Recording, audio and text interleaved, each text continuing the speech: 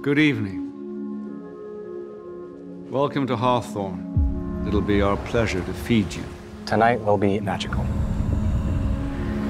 Over the next few hours, you will ingest fat, salt, protein, and at times entire ecosystems. We're eating the ocean. We're eating the ocean.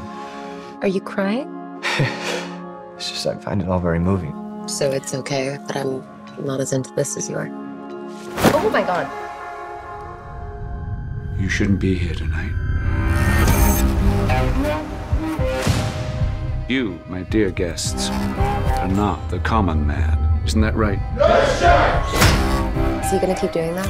What happens inside this room is meaningless compared to what happens outside. We are but a frightened nanosecond.